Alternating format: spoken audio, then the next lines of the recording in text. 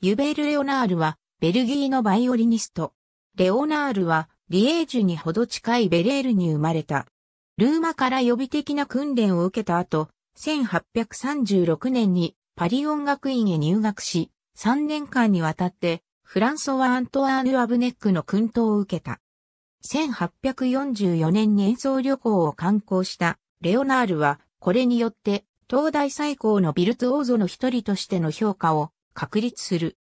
1848年から1867年にかけては巧妙なシャルル・オーギュスト・ドベリオの後を引き継ぎ、ブリュッセル王立音楽院において、バイオリン演奏の教授として、教鞭を取った。病気を患って、職を辞したレオナールは、パリに今日構え、そこで私的に弟子を取った。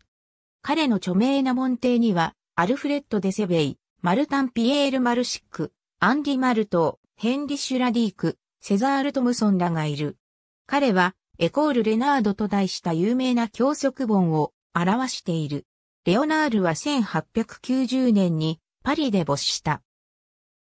この記事にはパブリックドメインである次の出版物本文が含まれるギルマン、DC ペック、HT コルビー、FM、エズ、ニューインターナショナルエンサイクロペディアニューヨーク、ドット、ミード、タイトルイコールは必須です。ありがとうございます。